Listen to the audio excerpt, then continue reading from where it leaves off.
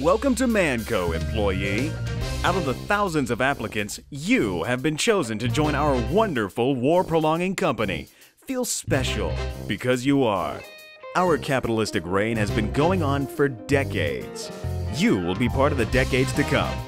Our headquarters is a massive complex that is almost impossible to explore in a single lifetime. Behind each of these doors are secrets and wonders that all those three letter agencies would kill for.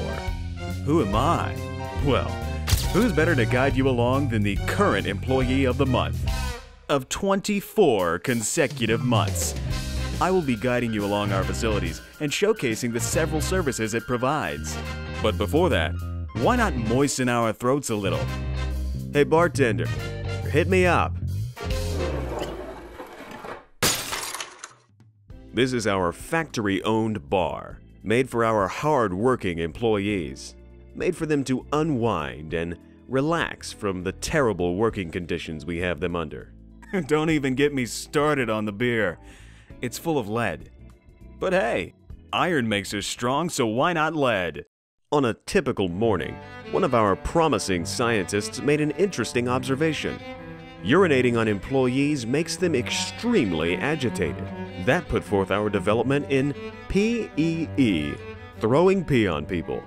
I don't think our acronym people know what an acronym is. Man, that beer is really going through me. But why should my nutrient human fluids go to waste? Our Jarate collection room. You think a single man could fill all those jars needed in battle? Think again. In our facility, no one drop goes to waste. As with any growing empire, the big government is always looking to bring us down.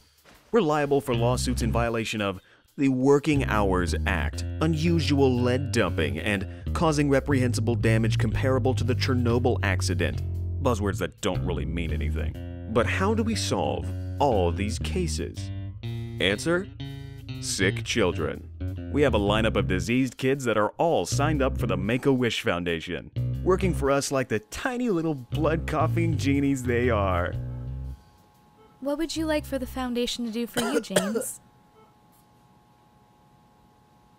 I want to go home with my mom and dad.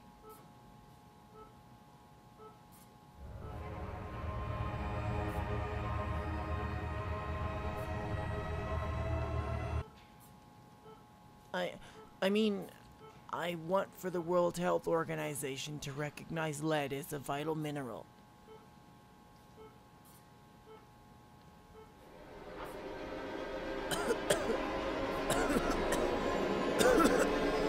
now I know what you're thinking.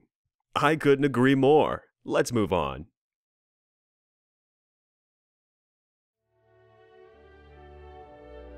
Admiring the fine paintings, eh? Funny. I had you pinned as more of a mouth breather. What you're admiring is the wonderful Olivia Mann. After the great Gray Mann became the late one, his position was immediately taken over by his young daughter Olivia. Both of them are like mirror images of each other. You could say the old man's spirit thrusted itself inside Olivia and worked her from the inside in the most wholesome way possible. Anyway, Mr. Fine Art, you might like paintings, but what about high-end fashion?